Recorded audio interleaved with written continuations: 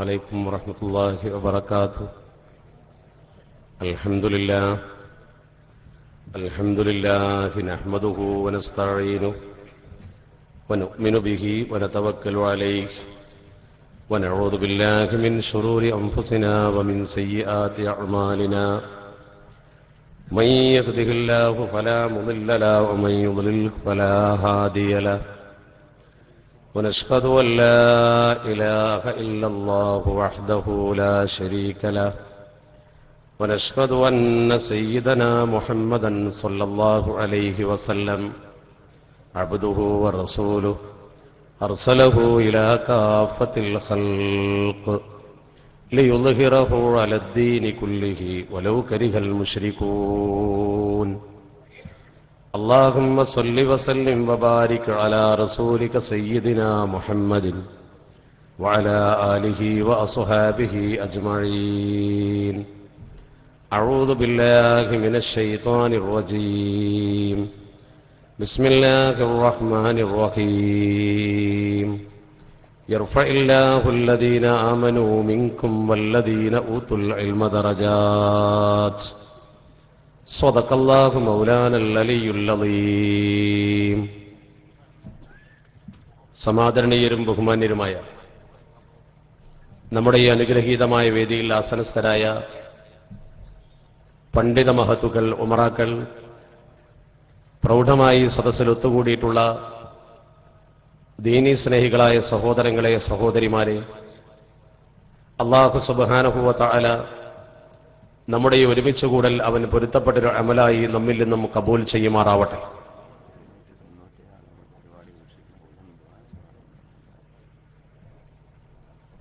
ഈ മഹത്തായ പരിപാടി ഈ സദസ്സിലാഗതരായിക്കൊണ്ടും അല്ലാതെയും വീക്ഷിക്കുന്ന ഒട്ടനവധി ആളുകളുണ്ട്. നമ്മുടെ ഇസ്ലാമിക് ക്ലാസ് റൂമിലൂടെ വിദേശ രാജ്യങ്ങളിൽ ഒട്ടനവധി സഹോദരങ്ങൾ ഈ മഹത്തായ മജ്ലിസിൽ നടന്നുകൊണ്ടിരിക്കുന്ന പരിപാടി വളരെ സന്തോഷപൂർവം ദർശിച്ചുകൊണ്ടിരിക്കുകയാണ്.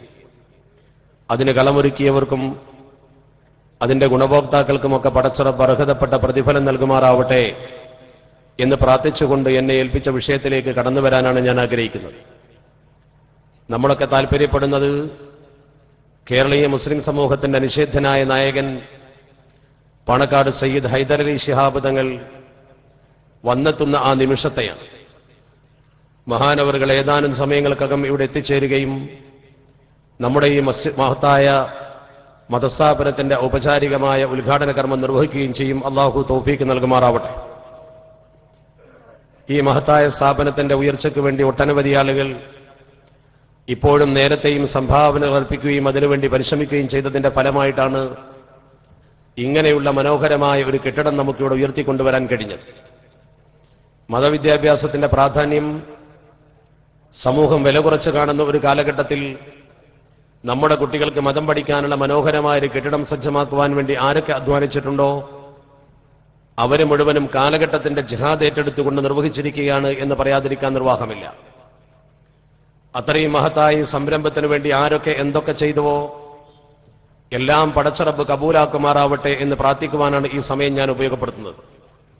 മഹാനായ ഇബ്രാഹിം നബി അലൈഹി സ്വലാത്തു വസ്സലാം വിശുദ്ധ കഴബാലയം കെട്ടിപ്പൊക്കിക്കൊണ്ട് പടച്ച റബ്ബിനോട് പറഞ്ഞത് റബ്ബന തക്കബൽ മിന്ന ഇന്നക അന്ത സമീഉൽ അലീം എന്ന് ആ പ്രാർത്ഥനയാണ് നമുക്കും ഇവിടെ പ്രാർത്ഥിക്കാനുള്ളത്. പടച്ചറബ് നമ്മിൽ നിന്നും ഇതൊക്കെയും സ്വീകരിക്കുമാറാവട്ടെ.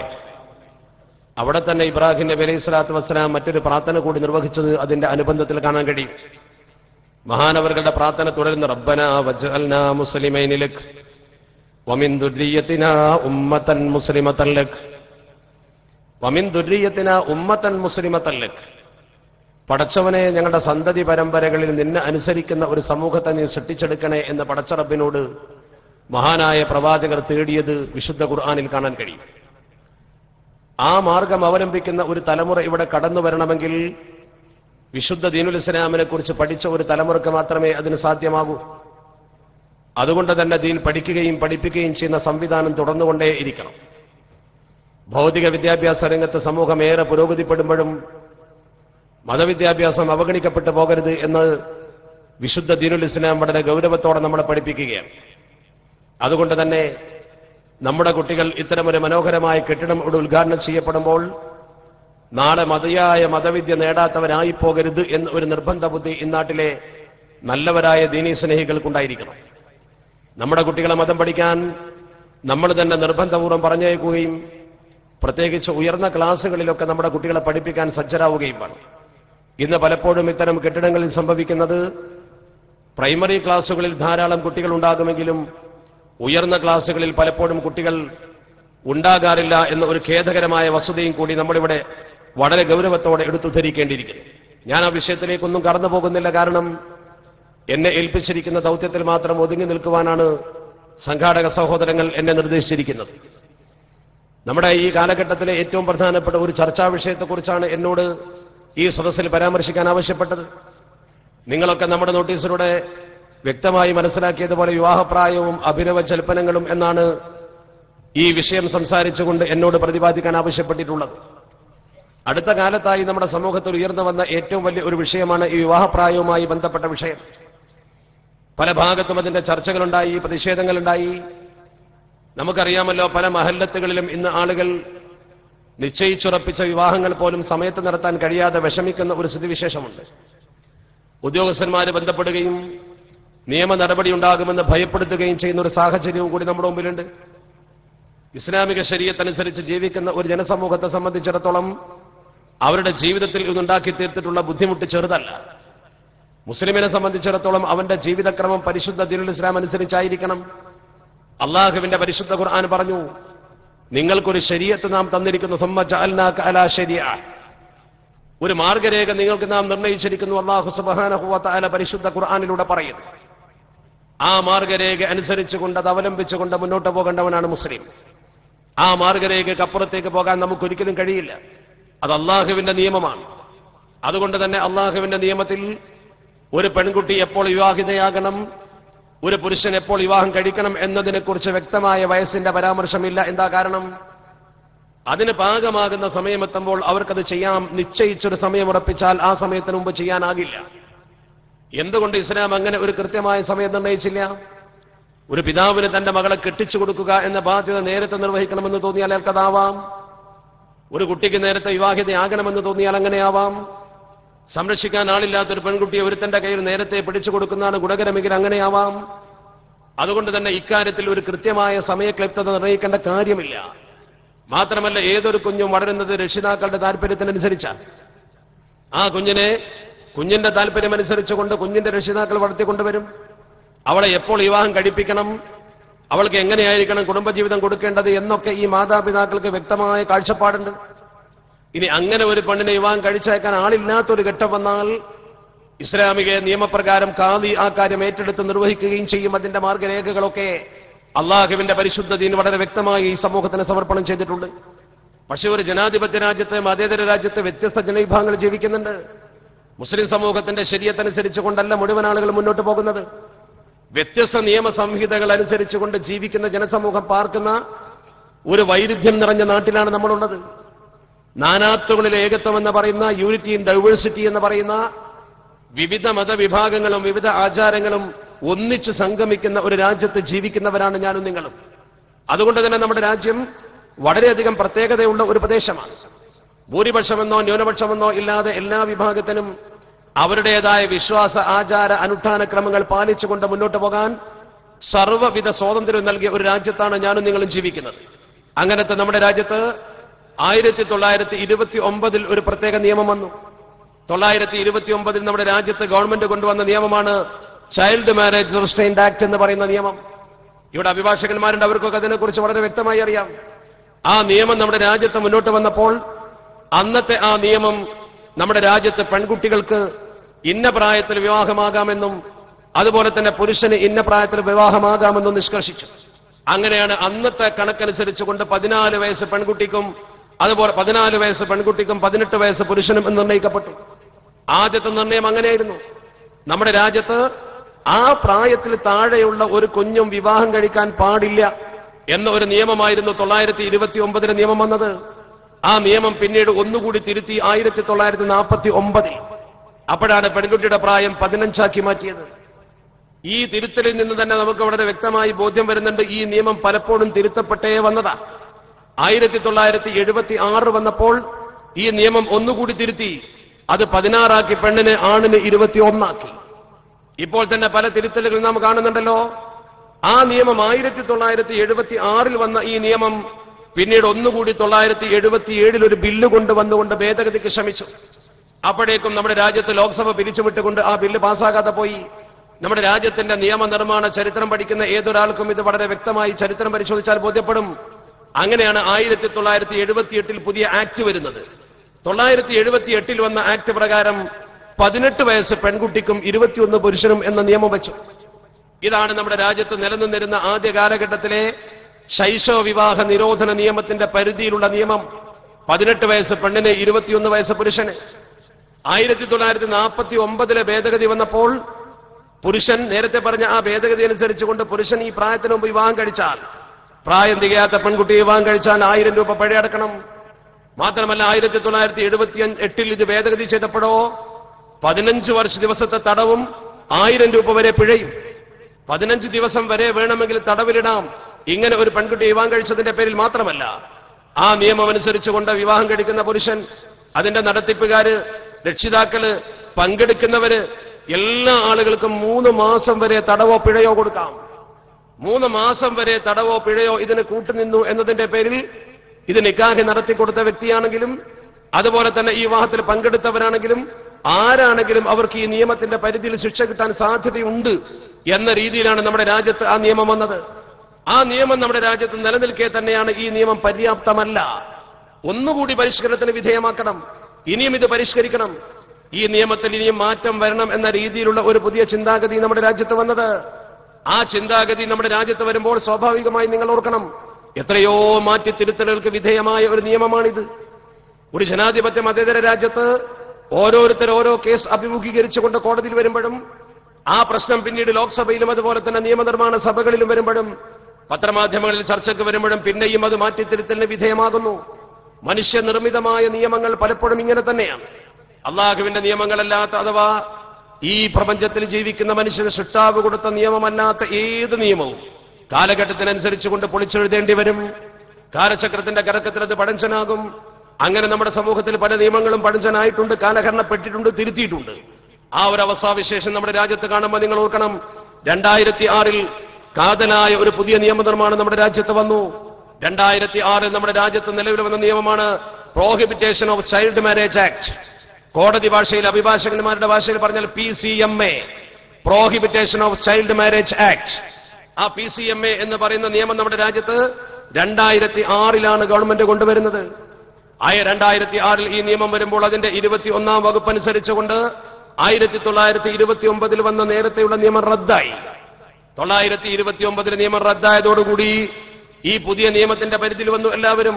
ഈ പുതിയ നിയമത്തിന്റെ പരിധി അനുസരിച്ചുകൊണ്ട് രണ്ടായിരത്തി ഏഴ് ജനുവരി മാസം അതിൽ പ്രാബല്യത്തിൽ വന്നു. രണ്ടായിരത്തി ഏഴ് ജനുവരി മാസം പ്രാബല്യത്തിൽ വന്ന ഇതിലെ ഒമ്പതാം വകുപ്പ് അനുസരിച്ചുകൊണ്ട് പുരുഷ നേ പറഞ്ഞാൽ നിർണയിക്കപ്പെട്ടിട്ട് തോന്നുന്നു പ്രായം അതുപോലെ നിർണയിക്കപ്പെട്ടുവെങ്കിലും പുരുഷനെ സംബന്ധിച്ചിടത്തോളം രണ്ട് വർഷം തടവും ഒരു ലക്ഷം രൂപ വരെ പിഴയും കിട്ടും. അത്രമാത്രം ഗൗരവത്തോടു കൂടിയാണ് ആ നിയമനിർമ്മാണം ഇവിടെ നിർവഹിക്കപ്പെട്ടത്. വിവാഹം പ്രായം തികയാതെ നടത്തിയാൽ കിട്ടുന്ന ശിക്ഷയുടെ ഗൗരവമാണ് കാണുന്നത്. പത്ത് പതിനൊന്ന് വകുപ്പ് പ്രകാരം കഴിച്ചു കൊടുക്കുന്ന വ്യക്തി അതുപോലെ തന്നെ പങ്കെടുക്കുന്നവർ തടയാൻ ശ്രമിക്കാത്തവർ അവർക്ക് രണ്ട് വർഷം വരെ തടവും ഒരു ലക്ഷം രൂപ വരെ പിഴയും വരാം. കോടതിക്ക് അതിന് അധികാരമുണ്ട് എന്ന ഈ നിയമനിർമ്മാണം നമ്മുടെ രാജ്യത്ത് വന്നതോടുകൂടി നമ്മുടെ രാജ്യത്തെ സംബന്ധിച്ചിടത്തോളം പുതിയൊരു വഴിത്തിരിവിലേക്ക് ചർച്ച എത്തുകയാണ്. ഇന്ത്യ മഹാരാജ്യത്തിന്റെ ഏറ്റവും വലിയ പ്രത്യേകത നമ്മുടെ രാജ്യത്തെ എല്ലാ മതവിഭാഗങ്ങൾക്കും അർഹതപ്പെട്ട സ്വാതന്ത്ര്യം കൊടുത്തിട്ടുണ്ട്. ഏത് മതവിഭാഗം അത് എത്ര ന്യൂനപക്ഷമാണെങ്കിലും ശരി നമ്മുടെ രാജ്യത്തിന്റെ ഭരണഘടനയുടെ അടിസ്ഥാന തത്വം എന്ന് പറയുന്ന ഫണ്ടമെന്റൽ റൈറ്റ് എന്ന പേരിൽ അറിയപ്പെടുന്ന നമ്മുടെ രാജ്യത്തിന്റെ ഏറ്റവും അടിസ്ഥാനപരമായ മൗലിക തത്വം ഒരിക്കലും മാറ്റിത്തിരുത്താൻ പാടില്ലാത്ത തത്വം ഒരു ഭൂരിപക്ഷ ഗവൺമെന്റ് വന്നാൽ പോലും ആ ഗവൺമെന്റിന്റെ താൽപര്യത്തിനനുസരിച്ച് കൊണ്ട് ഭരണഘടനയിൽ എന്തു മാറ്റം വരുത്തിയാലും ഭരണഘടന പൊളിച്ചെഴുതാൻ അവർ ശ്രമിച്ചാലും ശരി ഫണ്ടമെന്റൽ റൈറ്റ് മാറ്റാൻ പാടില്ല.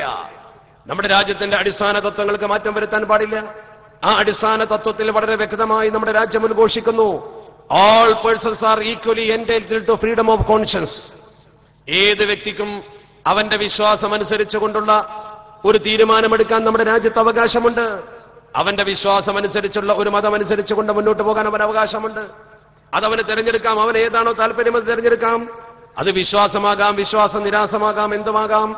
And the right to freely profess practice and propagate religion അവന്റെ മതമനുസരിച്ച് അവന് ജീവിക്കാൻ അവിടെ പറഞ്ഞ വാചകത്തെ നമ്മൾ ഒന്നുകൂടി വളരെ വ്യക്തമായി പരിശോധിക്കണം. To freely profess practice and propagate സ്വതന്ത്രമായി വിശ്വസിക്കാനും അനുഷ്ഠിക്കാനും പ്രചരിപ്പിക്കാനും. യാതൊരു തരത്തിലും ആർക്കും അതിൽ ഇടപെടാൻ കഴിയില്ല. ഭരണഘടനയ്ക്ക് ഇടപെടാൻ കഴിയില്ല. ഭരണകൂടത്തിന് ഇടപെടാൻ കഴിയില്ല. അവന് സ്വതന്ത്രമായി തന്റെ വിശ്വാസമനുസരിച്ചുകൊണ്ടുള്ള മതം അനുഷ്ഠിക്കാൻ അത് പ്രചരിപ്പിക്കാൻ അത് വിശ്വസിക്കാൻ എല്ലാ സ്വാതന്ത്ര്യവും നമ്മുടെ രാജ്യം ഭരണഘടനാപരമായി അവന് കൊടുക്കുന്നു. ആ ഭരണഘടന നിലനിൽക്കുന്ന ഒരു രാജ്യത്തെ മുസ്ലിം സമൂഹത്തെ സംബന്ധിച്ചിടത്തോളം അവരുടെ പ്രത്യേകത എന്താ? അവർക്ക് സ്വന്തമായി ഒരു മതസംവിധാനമുണ്ട്. സ്വന്തമായി അവർക്ക് രീതിയുണ്ട്. അതുകൊണ്ട് തന്നെ നമ്മുടെ രാജ്യത്തെ മുസ്ലിം സമൂഹത്തെ സംബന്ധിച്ചിടത്തോളം അവന്റെ ചില സിവിൽ പ്രശ്നങ്ങൾ ഉദാഹരണമായി അവന്റെ സ്വത്തവകാശം അവന്റെ വിവാഹം വിവാഹമോചനം ഫസ്ഖ് ഹുൽഹ് അതുപോലെ ഖുറാക്കിന്റെ വിവിധ ഇനങ്ങൾ അതുപോലെ തന്നെ അവന്റെ മുലകുടി ബന്ധമടക്കമുള്ള ബന്ധങ്ങൾ അപ്രകാരം തന്നെ അവൻ ട്രസ്റ്റ് അതുപോലെ തന്നെ മുസ്ലിം സമൂഹത്തിന്റെ വിശ്വാസവുമായി ബന്ധപ്പെട്ട അവന്റെ ചില സിവിൽ റൈറ്റുകൾ. അതവന് പാലിച്ചു കിട്ടുന്നതിന് വേണ്ടി നമ്മുടെ രാജ്യത്ത് ആയിരത്തി തൊള്ളായിരത്തി മുപ്പത്തിയേഴിൽ ബ്രിട്ടീഷ് ഗവൺമെന്റ് കൊണ്ടുവന്ന ഒരു നിയമമാണ് ശരിയത്ത് അപ്ലിക്കേഷൻ ആക്ട്. ഈ ശരിയത്ത് അപ്ലിക്കേഷൻ ആക്ട് എന്ന് പറയുന്നത് മുഹമ്മദൻ ലോ ഫോളോ ചെയ്തുകൊണ്ടുള്ള വിധി. മുസ്ലിം സമൂഹത്തെ സംബന്ധിച്ചിടത്തോളം അവന്റെ ഈ പ്രശ്നങ്ങൾ കോടതിയിൽ വന്നാൽ അവൻ ആ രീതിയിൽ വിധി കിട്ടാൻ അർഹതയുണ്ട്. ക്രിമിനൽ കേസുകളിൽ ഒരിക്കലും നമ്മൾ അവകാശപ്പെടുന്നില്ല. ഒരു രാജ്യത്തെ ക്രിമിനൽ നിയമം എല്ലാവർക്കും ഒരുപോലെ തന്നെ അവിടെ ഏതൊരു മുസ്ലിം കൊലപാതകം ചെയ്താലും ഏത് ജാതിക്കാരൻ ചെയ്താലും നിയമം ഒന്നാണ്. ക്രിമിനൽ കേസുകളെല്ലാം ഒരുപോലെ കൈകാര്യം ചെയ്യുന്നത് രാജ്യത്തിന്റെ സുരക്ഷിതത്വത്തിന്റെ ഭാഗമാണ് എന്നാൽ സിവിൽ പ്രശ്നത്തിൽ മുസ്ലിം സമൂഹത്തെ സംബന്ധിച്ചിടത്തോളം എങ്ങനെ സ്വത്ത് വിഭജിക്കണം? അവന്റെ പിതാവിന്റെ സ്വത്ത് അവൻ എങ്ങനെ വീതിക്കണം? അതുപോലെ തന്നെ അവനെ സംബന്ധിച്ചിടത്തോളം അവന്റെ വിവാഹം എങ്ങനെ നടത്തണം? അവന്റെ തൊലാക്ക് എങ്ങനെയായിരിക്കണം? ഈ രീതികളൊക്കെ ശരിക്കും പരിശുദ്ധ ശരി അവന് പഠിപ്പിച്ചതനുസരിച്ചുകൊണ്ട് ആ മുഹമ്മദ് ലോ അനുസരിച്ചുകൊണ്ട് ഇന്ത്യ മഹാരാജ്യത്ത് അവന് കോടതിയിൽ വിധി കിട്ടും. ഇവിടെ കോടതി രണ്ട് വിഭാഗത്തെ മാത്രമേ കാണൂ ഒന്ന് സുന്നി ഒന്ന് ഷിയ. ഷിയാക്കൾക്ക് ഷിയാ ശരീരത്തനുസരിച്ച് കൊണ്ടുള്ള വിധി കിട്ടും. സുന്നികൾക്ക് അവരുടെ സുന്നി നിയമം അനുസരിച്ച് കൊണ്ടുള്ള വിധി കിട്ടും. നമ്മുടെ നാട്ടിലെ എല്ലാ അവാന്തര വിഭാഗങ്ങൾ പ്രത്യേകിച്ച് അഖിലുസുന്നത്തി വജമാഅത്ത് എന്ന് പറയുന്ന ഗണത്തിനാണ് എല്ലാവരും പെടുന്നത്. നമ്മുടെ നാട്ടിലുള്ള എല്ലാ മുസ്ലിം സമൂഹത്തിലെ അവാന്തര വിഭാഗങ്ങളും പ്രത്യേകിച്ച് നമ്മുടെ നാട്ടിൽ ഷിയ എന്ന് പറയുന്ന വിഭാഗമില്ല.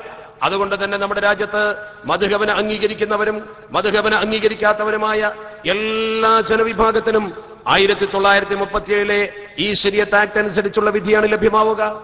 അതനുസരിച്ച് ജീവിക്കാൻ നമുക്ക് രാജ്യത്ത് അവകാശമുണ്ട്.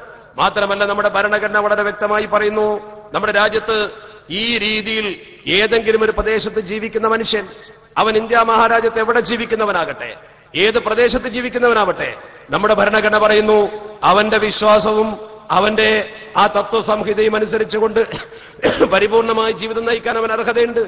ആ അർഹതയെ ഒരിക്കലും നമ്മുടെ ഭരണഘടന ചോദ്യം ചെയ്യുന്നില്ലെന്ന് മാത്രമല്ല ഒരു കോടതിക്കും അത് ചോദ്യം ചെയ്യാൻ കഴിയില്ലെന്ന് മാത്രമല്ല നമ്മുടെ ഇന്ത്യ മഹാരാജ്യത്ത് ഭരണഘടനാ ദത്തമായ ഒരു അവകാശമാണത്. നമ്മുടെ ഭരണഘടനയുടെ ആർട്ടിക്കിൾ ഇരുപത്തിയഞ്ച് വളരെ ഗൗരവത്തോടുകൂടി പരാമർശിക്കുന്ന ഒരു വാചകം നോക്ക് നിങ്ങൾ. നമ്മുടെ ഭരണഘടന ആർട്ടിക്കിൾ ഇരുപത്തിയഞ്ചിൽ എല്ലാ വിഭാഗം ആളുകൾക്കും ഈ അവകാശമുണ്ട്. അതാണ് ഞാൻ നേരത്തെ സൂചിപ്പിച്ചത്. അതേ ഭരണഘടനയിൽ തന്നെ ഇരുപത്തി ഒമ്പതാം വകുപ്പ് പ്രകാരം പറയുന്നു ഈ രാജ്യത്ത് താമസിക്കുന്ന ഏതെങ്കിലും ഒരു ജനവിഭാഗം any section of the citizen നമ്മുടെ രാജ്യത്തെ ഏതെങ്കിലും ഒരു പൗരവിഭാഗം any section of the citizen residing in the territory of India India മഹാരാജ്യത്ത് എവിടെയെങ്കിലും താമസിക്കുന്ന ഒരു ജനവിഭാഗം മാത്രമല്ല or any part of thereof having a distinct language script or culture സ്വന്തമായി ഒരു ഭാഷ സ്വന്തമായി ഒരു ലിപി സ്വന്തമായി ഒരു സംസ്കാരം. ഇതുള്ള ഏതെങ്കിലും ഒരു മതവിഭാഗത്തിന്റെ ഭാഗമായവരോ ഏതെങ്കിലും ഒരു വിഭാഗമോ നമ്മുടെ ഇന്ത്യ മഹാരാജ്യത്ത് ഏതെങ്കിലും ഒരു പ്രദേശത്ത് താമസിക്കുന്നുവെങ്കിൽ വ്യക്തമായി പറയുന്നു ഇറ്റ്സ് സോൺ കൾച്ചർ എന്ന് പറഞ്ഞുകൊണ്ട് പറയുന്നു വ്യക്തമായി പറയുന്നു shall have the right to conserve the same ആ സ്വന്തമായ സംസ്കാരം അല്ലെങ്കിൽ ലിപി അല്ലെങ്കിൽ ഭാഷ ഇത് സംരക്ഷിക്കാനുള്ള പരിപൂർണമായ അവകാശം അവർക്കുണ്ട്. ഇത് നമ്മുടെ ഭരണഘടനയിലെ ആർട്ടിക്കിൾ ഇരുപത്തി ഒമ്പതിൽ വ്യക്തമായി പറയുന്നു. ഈ രാജ്യത്ത് ഏത് പ്രദേശത്ത് താമസിക്കുന്ന ജനവിഭാഗം അത് മുസ്ലിം ആകട്ടെ അല്ലാത്തവരാകട്ടെ അവന് സ്വന്തമായൊരു സംസ്കാരമുണ്ടെങ്കിൽ അവന് സ്വന്തമായി ഒരു ചിന്താധാരയുണ്ടെങ്കിൽ അതനുസരിച്ചുകൊണ്ട് അവന് ശരിക്കും മുന്നോട്ട് പോകാൻ രാജ്യം അവന് അവകാശം വകവെച്ചു കൊടുക്കണം.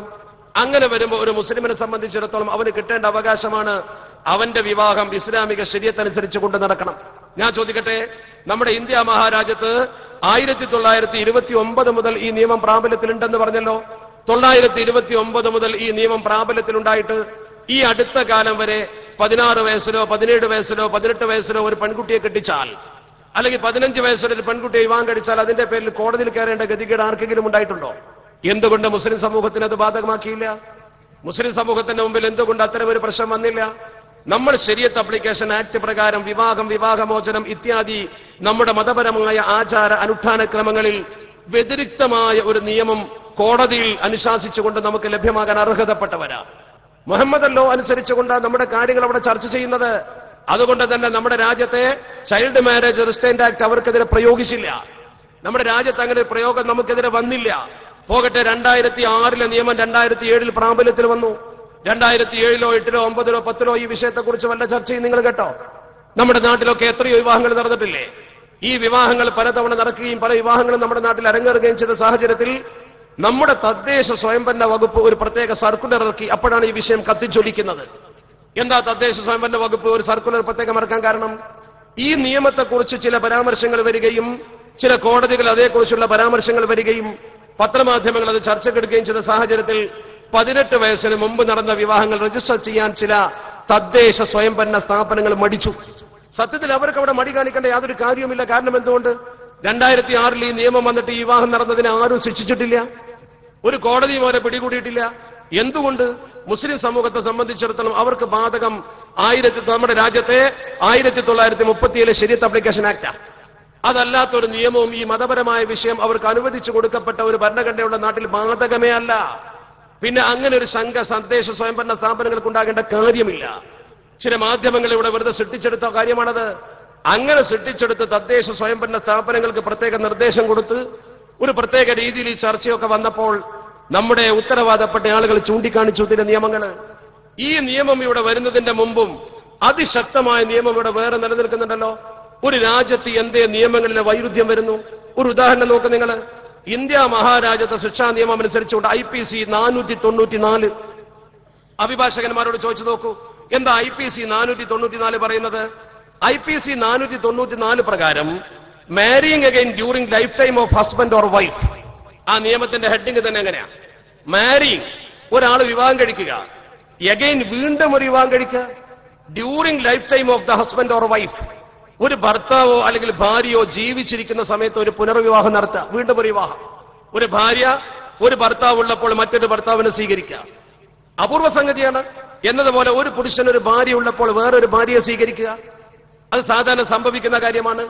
ഇങ്ങനെ വല്ലതും സംഭവിച്ചാൽ അതിന്റെ നിയമം ഒന്നുകൂടി പരത്തി ആ നിയമം പറയുന്നു who ever having who ever having ആർക്കെങ്കിലും ഉണ്ടെങ്കിൽ a husband or wife living ഒരു ഭാര്യയോ ഒരു ഭർത്താവോ ജീവിച്ചിരിപ്പുണ്ടെങ്കിൽ marries in any case in which വളരെ വ്യക്തമായി പറയുന്നു സച്ച് മാരേജ് ഇസ് വോയിഡ് ഏത് കണ്ടീഷനിലാണെങ്കിലും അങ്ങനെ ഒരു വിവാഹം നടന്നാൽ ആ വിവാഹം നിലനിൽക്കുന്നതല്ല. By reason of its taking place during the life or life of such husband or wife അങ്ങനെ ഒരു ഭാര്യയോ ഒരു ഭർത്താവോ ജീവിച്ചിരിക്കുന്ന സമയത്ത് രണ്ടാമതൊരു ഭാര്യയോ ഭർത്താവിനെയോ സ്വീകരിക്കാൻ പാടില്ല. അങ്ങനെ ഒരാൾ സ്വീകരിച്ചാൽ ഇവിടെ നമുക്ക് പുരുഷന്മാരെ അവസ്ഥ തന്നെ എടുക്കാം. ഒരു പുരുഷൻ ഒരു ഭാര്യയുള്ളപ്പോൾ അയാൾ മറ്റു ഒരു ഭാര്യയെ സ്വീകരിച്ചാൽ നമ്മുടെ രാജ്യത്തെ ഐ പി സി നാനൂറ്റി തൊണ്ണൂറ്റിനാലാം നമ്പർ വകുപ്പനുസരിച്ച് ആ നിയമം അനുസരിച്ചുകൊണ്ട് നമ്മുടെ രാജ്യത്ത് എന്ത് സംഭവിക്കും? Shall be punished with imprisonment അയാൾക്ക് തടവ് ശിക്ഷ വിധിക്കപ്പെടും. എന്താണ് തടവ് ശിക്ഷ? ഈ രാജ്യത്തെ ജനങ്ങളെ സംബന്ധിച്ചോളം ഒന്നുകിൽ അയാൾക്ക് ഏഴ് വർഷം വരെ തടവ് ശിക്ഷ. തടവ് ശിക്ഷയെ വിശദീകരിച്ചുകൊണ്ട് പറയുന്നു may be extend to seven years and shall be also be liable to fine ഒരു പക്ഷെ അയാൾക്ക് ഫൈനും കൊടുക്കാം. ഫൈനും കൊടുക്കാം. ഏഴ് വർഷം വരെ ശിക്ഷയും കൊടുക്കാം. ഞാൻ ചോദിക്കട്ടെ ഈ നിയമം നമ്മുടെ രാജ്യത്ത് വളരെ നേരത്തെ ഉള്ള ഇന്ത്യയുടെ നിയമമാണല്ലോ ഐ പി സി. ഈ നിയമം നിലനിൽക്കുന്ന രാജ്യത്ത് എത്ര പുരുഷന്മാർ ഇവിടെ രണ്ടായി വിവാഹം നടത്തിയ മുസ്ലിങ്ങളിൽ ഏതെങ്കിലും ഒരു മുസ്ലിം പുരുഷന്റെ മേൽ ഈ നിയമം എന്തുകൊണ്ട് ചുമത്തിയില്ല? എന്തേ നമ്മുടെ രാജ്യത്ത് രണ്ടാം വിവാഹം കഴിക്കുന്ന പുരുഷൻ ഹൈന്ദവ സമൂഹത്തിലും മറ്റു സമൂഹത്തിലും ഒക്കെ ശിക്ഷിക്കപ്പെടുമ്പോൾ നമ്മുടെ സമൂഹത്തിൽ എന്തുകൊണ്ട് ശിക്ഷിക്കപ്പെടുന്നില്ല? എന്തേ അങ്ങനെ ശിക്ഷ നടപ്പാക്കാൻ ഭാര്യ ജീവിച്ചിരിക്കുമ്പോൾ രണ്ടാമത് വിവാഹം കഴിക്കാൻ മതിയായ ശരീരത്തിന്റെ കാരണങ്ങളുണ്ടെങ്കിൽ ഇസ്ലാമിക നിയമപ്രകാരം ഒരു പുരുഷൻ വിവാഹം കഴിക്കാം. അങ്ങനെ ഒരു പുരുഷൻ വിവാഹം കഴിക്കുമ്പോൾ കോടതിയുടെ മുമ്പിൽ അതൊരു കേസായി വന്നാൽ ഇസ്ലാമിക ശരീരത്ത് അപ്ലിക്കേഷൻ ആക്ട് പ്രകാരം ഇന്ത്യ മഹാരാജ്യത്തെ തൊള്ളായിരത്തി മുപ്പത്തിയേഴ് നിയമപ്രകാരം മുസ്ലിമിന് അതിന് അർഹതയുണ്ട് എന്ന് കോടതി കണ്ടെത്തുന്നു. അതുകൊണ്ട് തന്നെ രണ്ടാം വിവാഹം കഴിച്ച ഒരു പുരുഷനെയും കോടതി ഏഴു വർഷം വരെ ശിക്ഷിച്ചിട്ടില്ലല്ലോ. ആ വിവാഹം നിലനിൽക്കത്തക്കതല്ല. മാരേജ് ഇസ് വോയിഡ് എന്ന് പറഞ്ഞിട്ടില്ല. അപ്പൊ രാജ്യത്തെ മുസ്ലിങ്ങൾക്ക് ഇങ്ങനെ ഒരു നിയമം എന്തുകൊണ്ട് ഇവിടെ സംരക്ഷിതമായി കിട്ടി? അവൻ ശരിയത്ത് അപ്ലിക്കേഷൻ ആക്ടിന്റെ പിന്നിലായതുകൊണ്ട് അങ്ങനെയുള്ള ഒരു സമൂഹത്തിന് എങ്ങനെയാണ് ഈ നിയമം ബാധകമാകുന്നത്?